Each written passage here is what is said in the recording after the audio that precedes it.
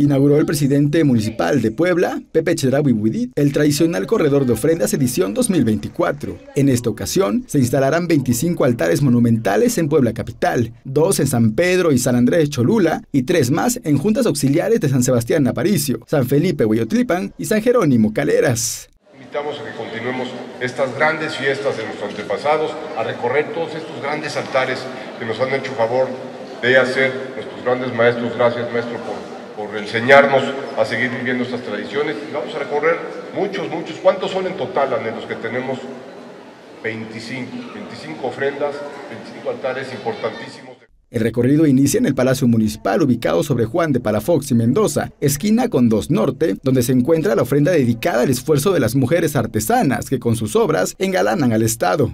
Estos días de reconocimiento se fortalezcan en nuestro sentido de comunidad.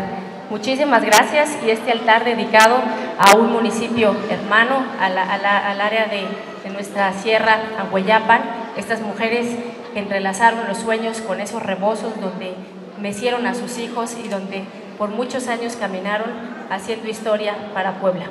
En las oficinas de turismo se montó un altar dedicado a Ifiginia Marta Martínez, originaria de Tochimilco. Aquí, Marta Ornelas, titular del área, en coordinación con el secretario de Cultura, Enrique Glockner, entregaron un reconocimiento al presidente municipal de la comunidad, David González, por su destacada participación en la preservación de las tradiciones. No puede faltar en estos majestuosos altares los alebrijes, seres míticos que según la leyenda son los encargados de guiar al Mictlán, el reino de los muertos, a las almas de nuestros seres queridos. En Casa de Cultura se rindió homenaje al fundador de este recinto, el profesor Pedro Ángel Palou Pérez. Mis respetos para las tradiciones de México.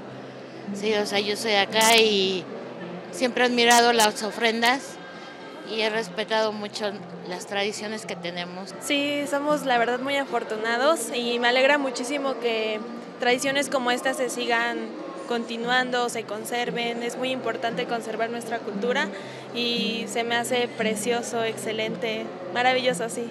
Para conocer a detalle la travesía del corredor de ofrendas, puede consultar las redes sociales oficiales del ayuntamiento.